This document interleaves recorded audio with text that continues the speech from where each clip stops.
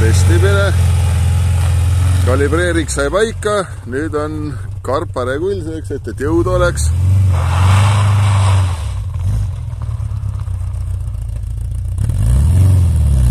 teise käiguga kohatud, et saaks kiiruskatse stardis hästi minema. niimoodi see elu käib. lihtsalt vanaisad on juba valmis kuu aega enne rallit põhimõtteliselt. tangitud, tehtud, kõik on korras. väga mõnus